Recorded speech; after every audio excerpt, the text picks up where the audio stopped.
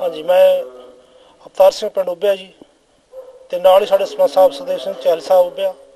ਤੇ ਸਮੂਹ ਨਗਰ ਉੱਭਿਆ ਵੱਲੋਂ ਨਵੇਂ ਸਾਲ ਦੀ ਵਧਾਈਆਂ ਤੇ ਆਉਣ ਵਾਲੇ ਲੋਹੜੀ ਵਾਸਤੇ, ਲੋਹੜੀ ਬਾਦ ਦੀਆਂ ਲੱਖ ਲੱਖ ਮੁਬਾਰਕਾਂ ਹੋਣ।